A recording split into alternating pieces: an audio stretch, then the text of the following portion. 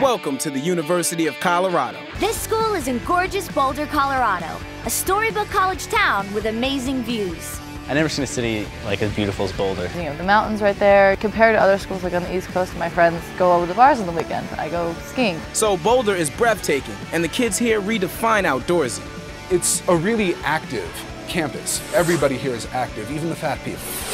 The student body is a mix of hippies and yuppies. There's definitely the whole hippie granola scene, as well as like yuppies that all drive their Range Rovers. But no matter what they drive, all students here love the nightlife. There's a lot of emphasis to definitely go out. Like, and every night of the week, Thursday night's probably our biggest party night here. When we're not snowboarding, we do a lot of drinking. There's a lot of partying. We were rated top 10 party schools. Now, even though the social life is slamming, you can also get a solid education. You just have to balance partying like a rock star and studying at least five hours a week. It's easy to get a good education here as long as you're willing to put in the effort.